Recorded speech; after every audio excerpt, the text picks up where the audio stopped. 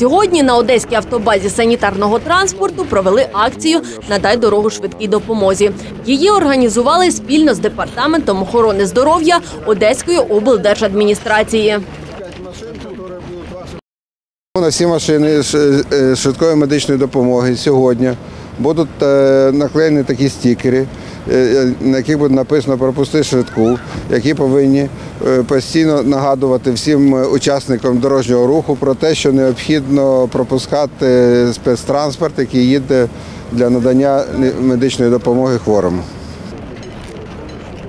Щоденно з цієї бази понад 170 бригад екстреної медичної допомоги виїжджають на виклики по місту й області. Досить часто виникає проблема із заторами. Деякі водії, ігноруючи правила дорожнього руху, не пропускають швидку з увімкненими звуковим та світловим сигналами.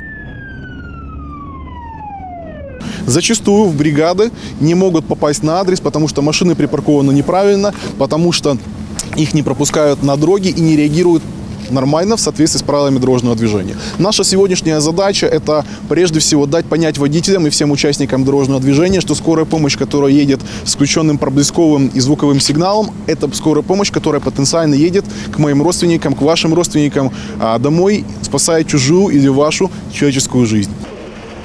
За законом норматив передбачає доїзд швидкої до хворого в межах міста за 10 хвилин, в області за 20.